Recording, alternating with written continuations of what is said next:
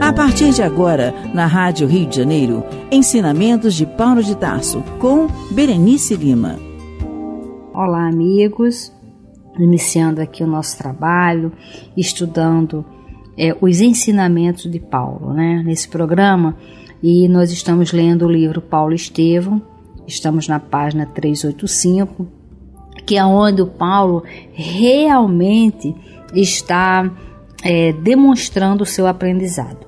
Ele está colocando na prática a, o ensinamento que ele teve do Cristo, né? Através das leituras, através das conversas. Então ele agora está colocando na prática tudo que o Cristo ensinou. Isto serve para nós que se o Paulo consegue, nós também conseguimos. E é isto que é estudar esse livro é para que cada um de nós se fortaleça nessa ideia de se transformar, de ser uma pessoa do bem, ser uma pessoa diferente para melhor. E agora, nesse momento, ele foi é, liberto lá da, da, do julgamento, né? E Paulo entregou-lhe alegremente a, a, pequena fortuna, porque ele foi visitar lá o, o Pedro, cuja aplicação iria assegurar maior independência à instituição de Jerusalém para o desenvolvimento junto da obra do Cristo. Pedro agradeceu comovido e abraçou com lágrimas. Os pobres, os órfãos, os velhos desamparados e os convalescentes teriam doravante uma escola abençoada de trabalho santificante. Então ele está aqui demonstrando também essa questão da doação, né? de quem pode ajudar a quem não pode, mas dentro de um propósito, porque aqui não são esmolas, mas aqui é dentro de um propósito de uma escola de trabalho edificante. É no nosso trabalho lá que eu administro, na, no abrigo, nós temos as, é, os projetos profissionalizantes com os jovens, mas com uma metodologia né, que nós vamos descobrindo ali, trabalhando as habilidades de cada um, é, formando os trabalhadores ou os empreendedores, dependendo da sua própria habilidade, né? Mas isso é colocando a pessoa também no trabalho. Não adianta só ajudar, não adianta só profissionalizar, não adianta apenas é, dar coisas se a gente não criar oportunidades, mas criar oportunidades na prática, de incluir na prática para que a pessoa consiga realmente se sustentar. Então esse é um trabalho que nós fazemos lá baseados na inspirados nesta obra aqui também.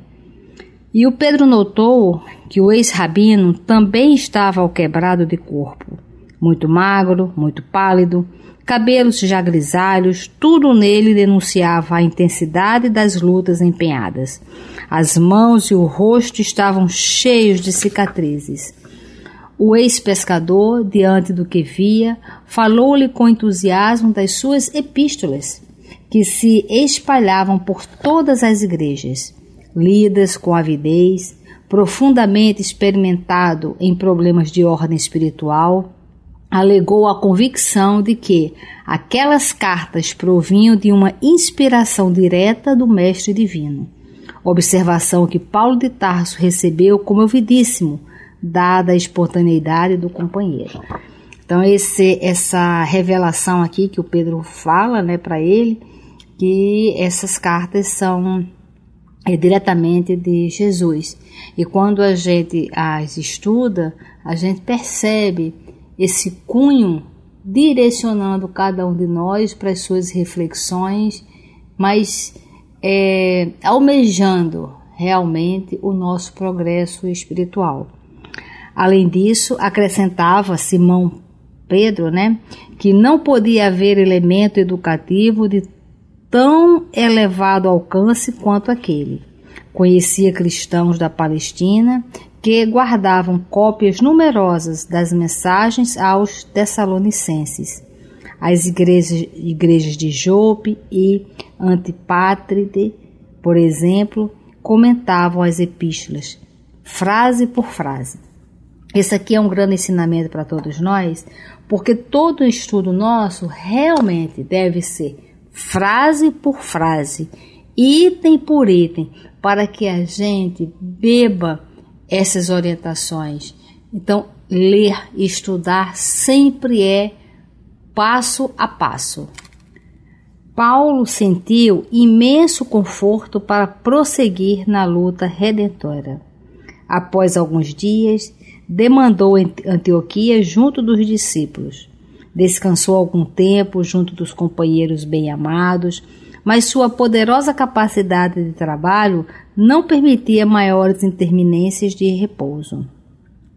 Nessa época, não passava semana que não recebesse representações de diversas igrejas dos pontos mais distantes. Antioquia, da Pisídia, sumariava dificuldades.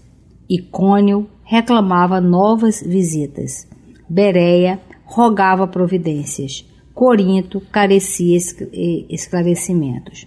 Colossos insistia por sua presença breve.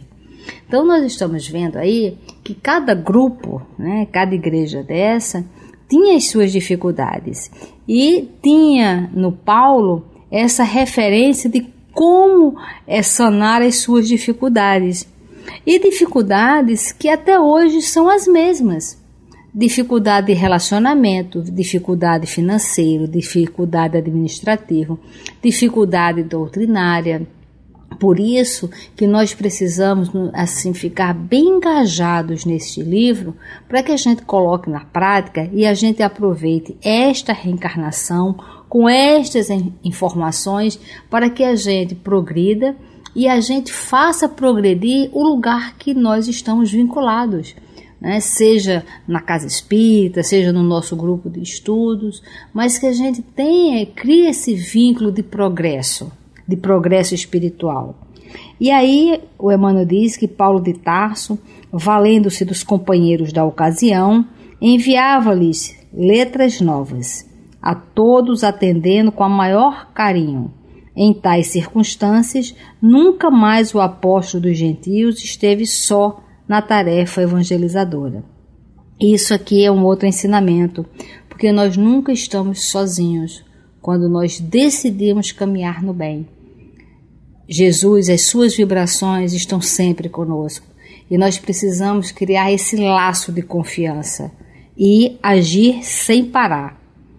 Sempre assistido por discípulos numerosos, suas epístolas, que ficariam para os cristãos do futuro, estão, em sua maioria, repletas de referências pessoais, suaves e doces. Isso, gente, mostrando que é possível, se foi possível para ele, um homem quando era Saulo, era irracível, agressivo, intempestivo, é, orgulhoso, dominador, e ele mudou. Por quê? Porque ele quis. Ele se empenhou nessa mudança. Então, ler essas obras, é, ficar atento a esses ensinamentos, é para que cada um de nós se sinta assim motivados também a fazer essa mudança. E em toda parte, lutas sem tréguas, alegrias e dores, angústias e amarguras do mundo, que não chegavam a lhe oferecer as esperanças nas promessas de Jesus. De um lado, eram os israelitas rigorosos, inimigos ferrenhos e declarados do Salvador. Do outro, os cristãos indecisos, vacilando entre as conveniências pessoais e as falsas interpretações. Olha, isso aqui é muito sério, né? Porque muitas vezes nós ficamos também ou dentro das nossas conveniências, que é, e com isso a gente acaba fugindo do trabalho, é, e ou então nas falsas interpretações, interpretando de maneira a compor as minhas ideias particulares, que geralmente são ideias diferentes realmente das do Cristo. Isso é uma coisa muito interessante, essa questão da conveniência. O Dr. Erno, que é o espírito que dirige o nosso trabalho, né? Ele sempre fala que às vezes as pessoas, nós levamos 50 anos para dar início a um planejamento reencarnatório, de fato, né? porque ficamos tão distraídos, ficamos tão envolvidos nas nossas conveniências pessoais que esquecemos o objetivo que viemos fazer aqui na Terra, reencarnado. Então, que a gente pense se nós estamos vacilando entre as conveniências pessoais e as falsas interpretações. E o Emmanuel continua. O missionário tarcense, no entanto, conhecendo que o discípulo sincero terá de experimentar as sensações da porta estreita todos os dias, nunca se deixou empolgar pelo desânimo, renovando a cada hora o propósito de, de tudo suportar, agir, fazer e edificar pelo Evangelho inteiramente entregue a Jesus Cristo. Vencidas as lutas indefesas, deliberou regressar a Éfeso interessado na feitura do Evangelho decalcado nas recordações de Maria. Não mais encontrou Áquila e Prisca, retornados a Corinto em companhia de um tal Apolo, que se notabilizara por sua cultura entre os recém-convertidos. Embora pretendesse apenas manter algumas conversações mais longas com, as, com a filha inesquecível de Nazaré, foi compelido a enfrentar a luta séria com os cooperadores de João. Então a gente está vendo aí esse o ciúme também, né, existindo.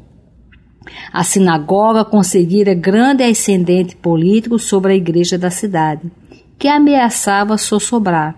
O ex-rabino percebeu o perigo e aceitou a luta, sem reservas. Durante três meses, discutiu na sinagoga em todas as reuniões. A cidade, que se mantinha em dúvidas atrozes, parecia alcançar uma compreensão mais elevada e mais rica de luzes. Multiplicando as curas maravilhosas, Paulo, um dia tendo imposto as mãos sobre alguns doentes, foi rodeado por claridade indefinível do mundo espiritual. As vozes santificadas que se manifestavam em Jerusalém e Antioquia falaram na praça pública. Esse fato teve enorme repercussão e deu maior autoridade aos argumentos do apóstolo em contradita aos judeus. É muito interessante aqui nesse momento, porque a gente está vendo esse Paulo aí aflorando essa mediunidade, né? Da cura, essa de, de ouvir esses, essas orientações todas.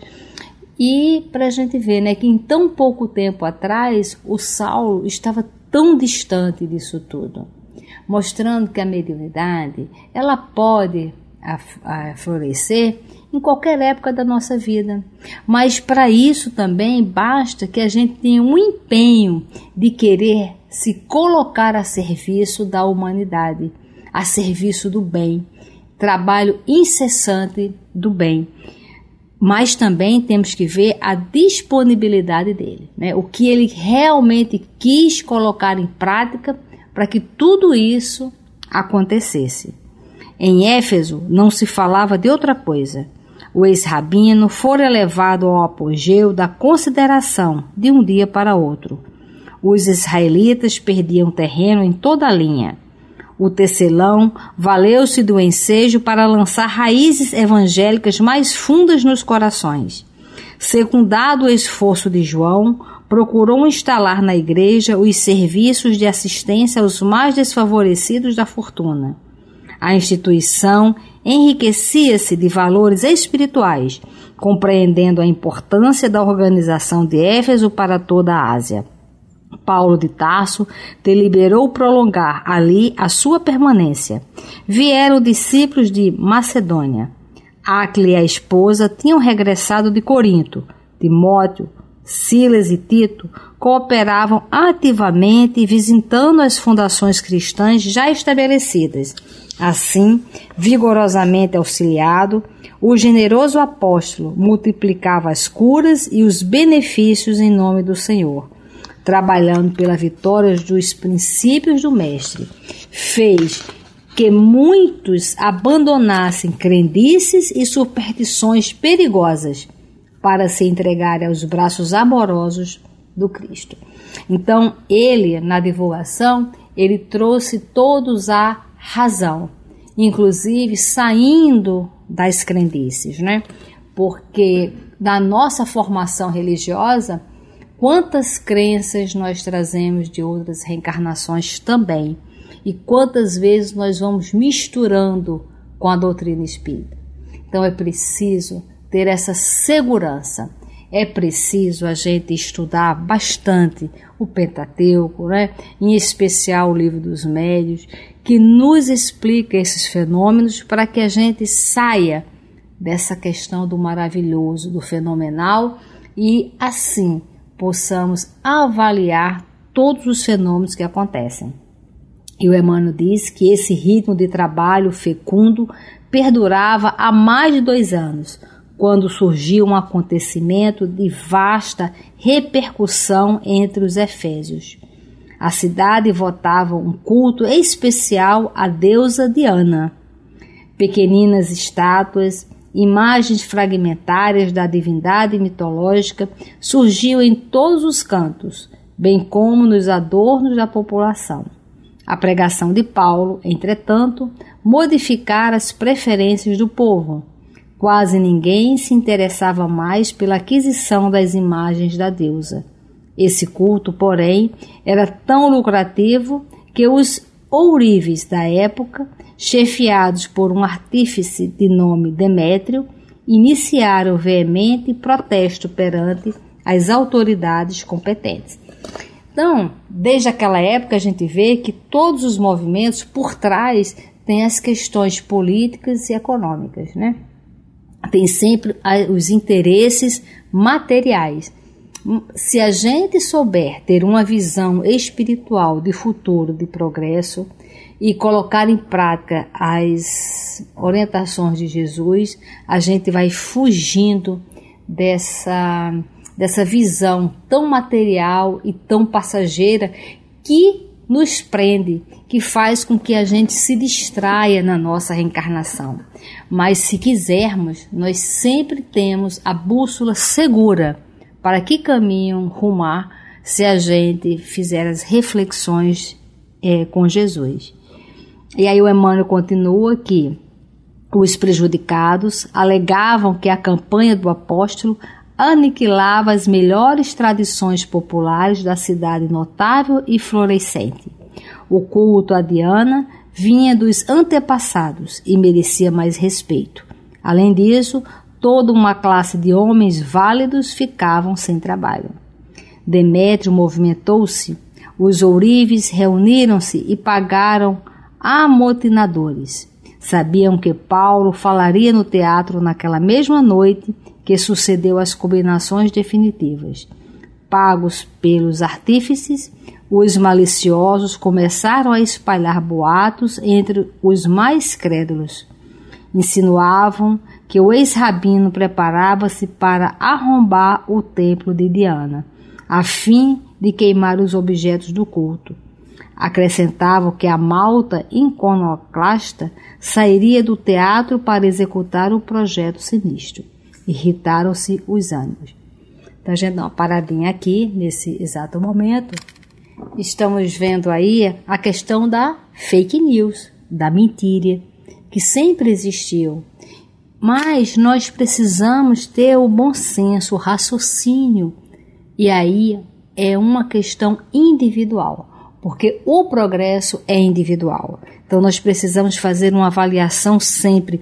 E Jesus, ele deixou todos, toda a organização de como fazer essa avaliação. Conhecerei os, homens pelas suas obras. Mas essas obras, elas não são obras materiais, mas elas são obras realmente, porque o que vale é a intenção. Então que a gente tem essas ferramentas para análise, né? E aí continua. O plano de Demétrio calava fundo na imaginação dos mais simplórios.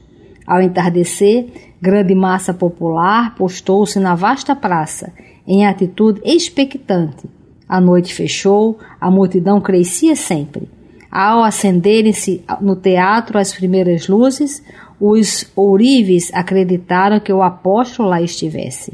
Com imprecações e gestos ameaçadores, a multidão avançou em furiosa e gritaria. Mas somente Gaio e Aristarco, irmãos da Macedônia, ali se encontravam, preparando o ambiente das pregações da noite. Ambos foram presos pelos exaltados. Verificando a ausência do, de Paulo, a massa inconsciente encaminhou-se para a tenda de Acla e Prisca. Paulo, no entanto, lá não estava.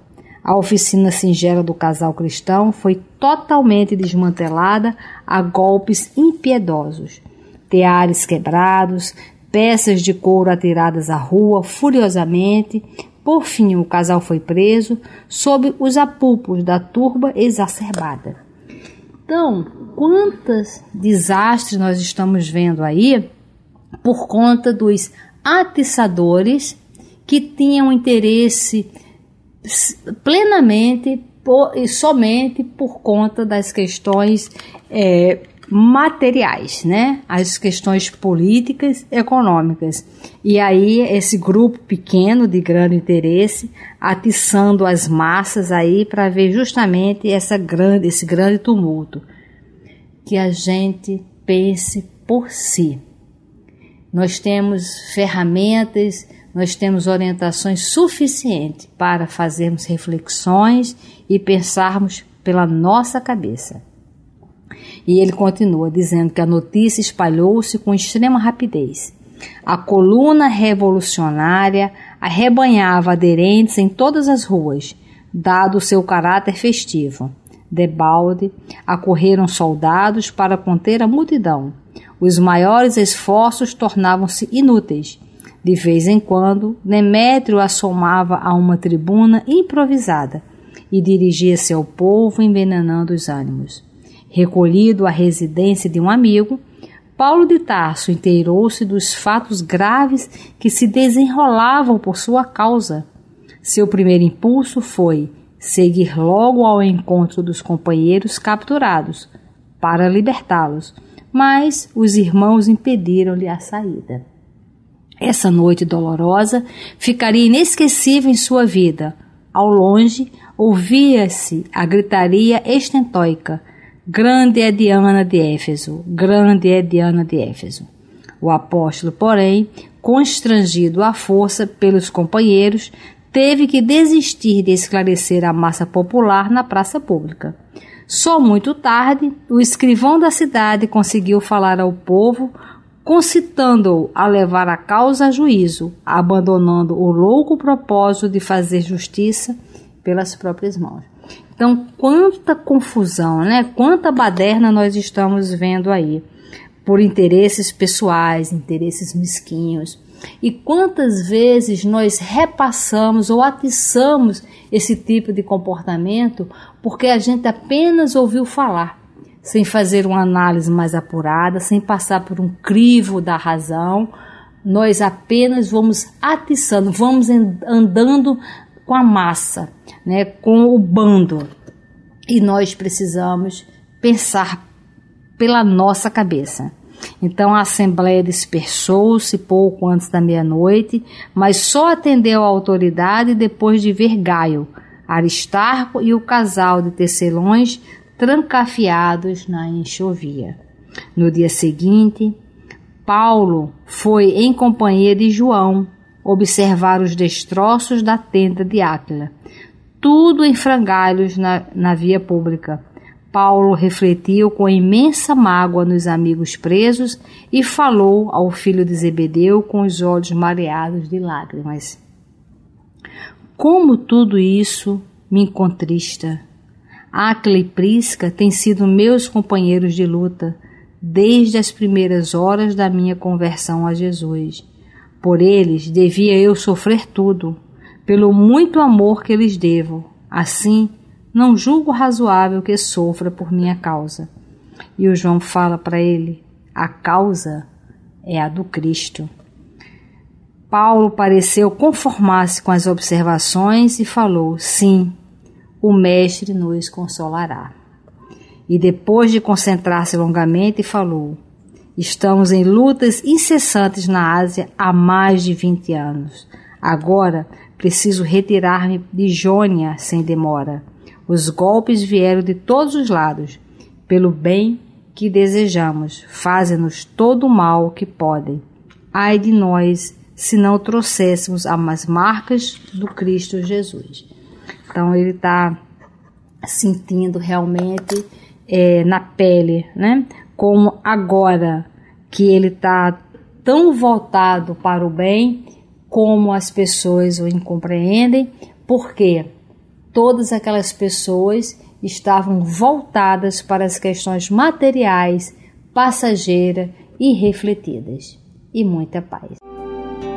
Você ouviu na Rádio Rio de Janeiro ensinamentos de Paulo de Tarso com Berenice Lima.